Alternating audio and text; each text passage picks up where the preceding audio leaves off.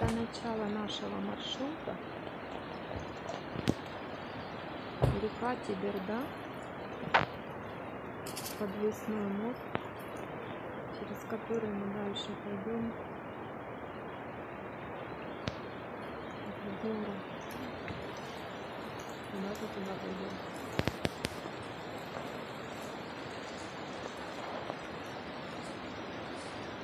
Пасмурно что-то никак не хочет погода распогодиться.